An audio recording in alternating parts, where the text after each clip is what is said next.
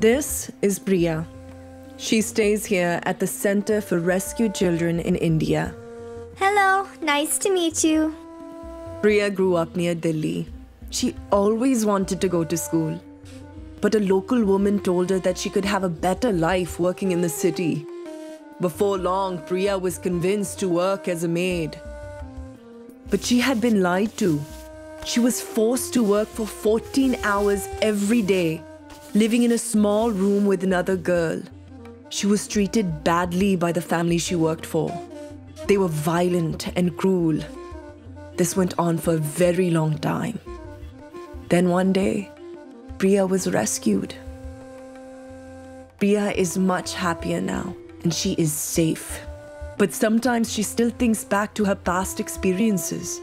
When I first came to the children's center, I was often in a daze. I couldn't concentrate and I wasn't sleeping very well. I didn't want to talk to anyone and I didn't want to join in with any activities. Sometimes I would get angry and hit other children. Other times I'd feel really nervous, like I couldn't relax. I'd sweat and my heartbeat would get faster and faster. I had diarrhea and stomach pain. Sometimes I woke up and my bed was wet. But Priya soon learned that many of the other children were having similar feelings and experiences.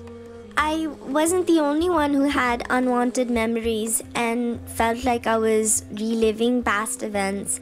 I wasn't the only one who felt scared that I would be sent back.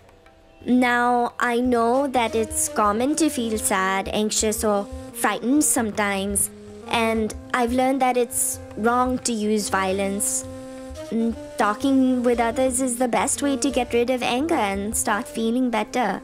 With a lot of time, Priya's bad feelings started to get weaker. You may be feeling similar to Priya. You may have a racing heart, bad stomach, feel easily startled. You may be having lots of thoughts about your past and wanting to avoid people. These are common reactions, and it is okay to notice them. Over time, they are likely to get weaker.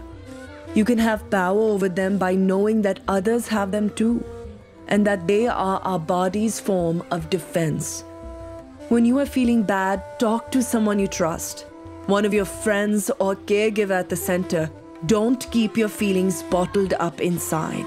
And if you are ever afraid of an adult again, you have the right to talk to as many other people as you like until you feel safe.